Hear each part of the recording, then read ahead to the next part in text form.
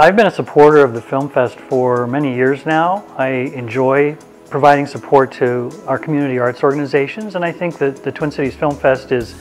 a great uh, organization that does really wonderful work at trying to bring film to our community in a meaningful way. I am pleased to be able to support a number of arts organizations in our community and I particularly feel that the support, the financial support of the Twin Cities Film Fest is very necessary to help keep the organization thriving and to add to the